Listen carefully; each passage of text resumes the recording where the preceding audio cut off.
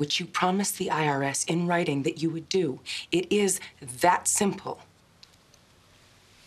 Okay. Okay, duly noted. What does that mean? Does that mean yes? Because I really need a yes. Duly noted. To take note of the information for later consideration. If used sarcastically, it means the opposite. Examples I must insist that you desist. I really think this is gonna work.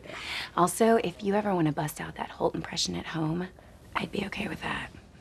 Oh, okay. Duly noted. Super disturbing, but I'm definitely going to do it.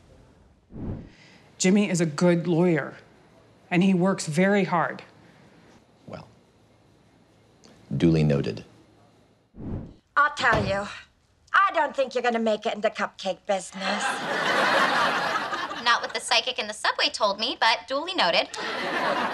Oh, I have dinner plans with Joey. We get together about once a month to discuss the rest of you guys.